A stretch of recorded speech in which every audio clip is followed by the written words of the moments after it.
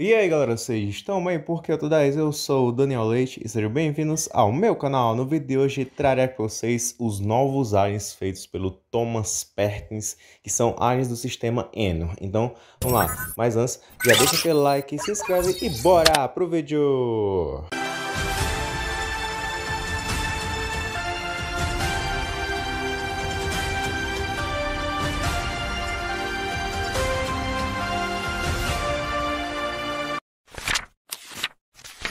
Então, galera, a gente sabe que no sistema Eno é um dos lugares que mais tem aliens interessantes, né? Os aliens baseados aí em monstros e tudo mais.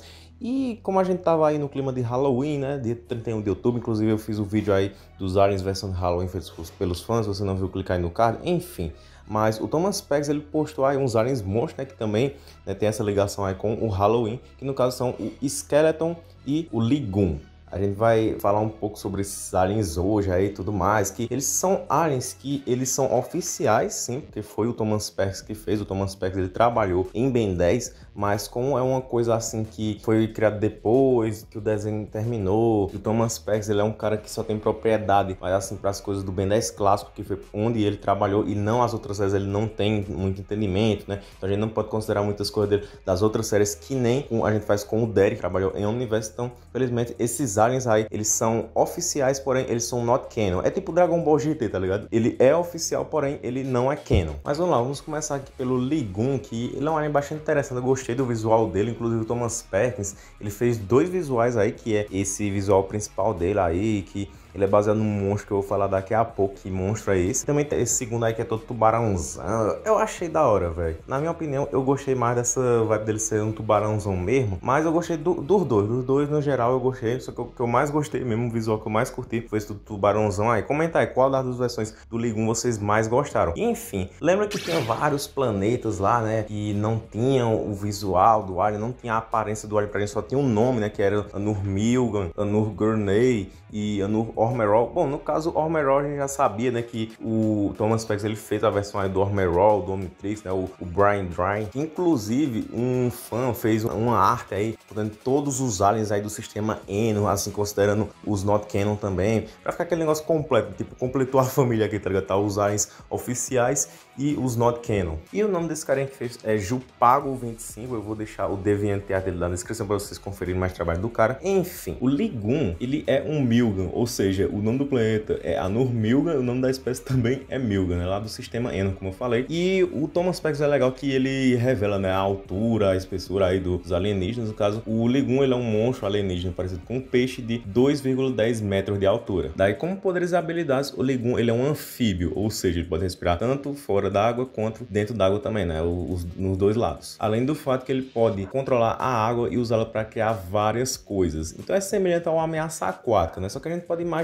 que ele usaria a água dele assim, diferente, de diferentes formas, né? Que o ameaça aquática a gente sabe, né? Ele tem aquele negócio dele controlar a água que nem Poseidon, porém isso é um hipérbole, né? Porque Poseidon é um deusão e tudo mais, entendeu? Então isso é, é um hipérbole da parte né, dos diretores falarem isso, mas a gente sabe que o ameaça aquática é brabo, né? O Eugenison confirmou que ele pode controlar diferentes fontes de água, né? Mas eu imagino o Ligum ele usando esse poder de maneira diferente, tipo semelhante ao Aqualed, por exemplo. Cada uma diversificada assim, os aliens não ficar tão parecidos em quesito poder, né? Mas outra coisa que o Ligum tem é que, assim como todos os outros aliens do sistema Eno, ele pode ver no escuro. Aí, como fraquezas, o Ligum ele pode facilmente se assustar com o rosto do Expandoide. Mais um alien aí que tem essa fraqueza. No entanto, só foi revelado essa. Não tem uma outra fraqueza assim mais específica, mais que tipo, é só dele, não. Porque essa fraqueza é uma fraqueza que muitos outros alienígenas também têm. Mas eu disse que eu ia falar qual é o monstro que o Ligum foi baseado. Sim, eu vou falar agora. Mas o Ligum ele é uma homenagem ao Gilman, que ele é uma criatura fictícia de um filme bem antigo, de 1954, que ele não tem tradução. Ele é tão antigo que nem tem tradução. Então eu vou dizer o nome do filme em inglês mesmo, né? Que é o Creature from the Black Lagoon. Aí a criatura é o, é Lagoon, então. Isso significa que o nome dele, Ligum, é uma abreviação para Lagoon. Aí tem mais, galera. Tipo, não foi só mostrado essa versão dele como,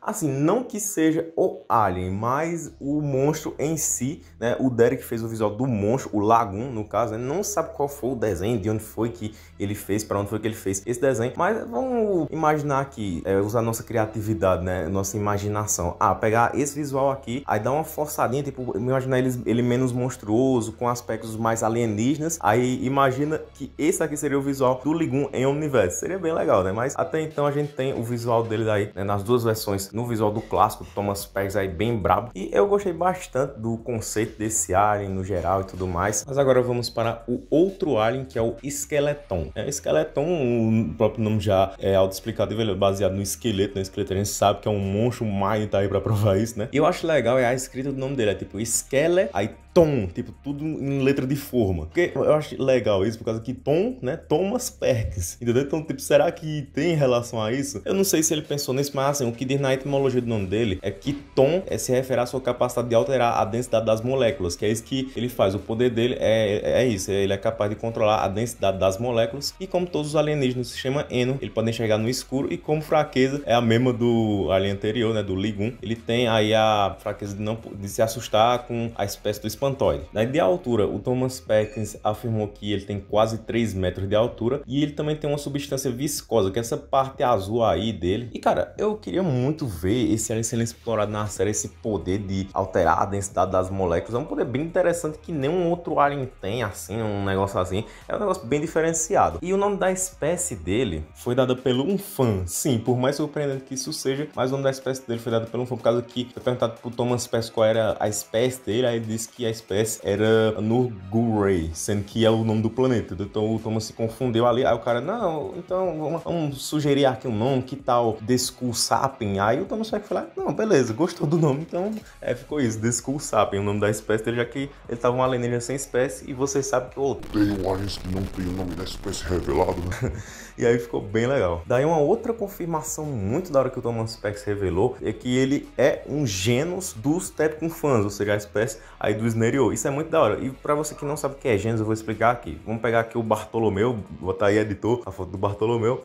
O Bartolomeu é um gato e um gato é o que? Um felino. Aí temos o leão, né, que o leão também é um felino, mas eles não são subespécies, não, eles são da mesma família, entendeu? Então, no caso, eles são gêneros. A subespécie seria a gente pegar o Bartolomeu, que é um gato doméstico, aí pegar um gato selvagem, no caso, aí eles seriam subespécies um do outro, sim, entendeu? Aí o conceito de gêneros, então, no caso, os Tepconfans e os Desculsapios, eles seriam aí subespécies que estão em planetas diferentes e tudo mais, mas a gente nota, né, que é algo bastante interessante, duas espécies que nem se parecem, né, que um é uma múmia, o outro é um esqueleto, esqueleto, e eles seriam gêmeos da mesma família, só que um tá em Anocufus e o outro tá em Anururnei. Então é isso, galera. Esse foi o vídeo. Espero que vocês tenham gostado aí dos aliens do Thomas Perkins. Muito massa. Então deixa aquele like, se inscreva no canal se possível, seja membro, ative o sininho, falou e tchau!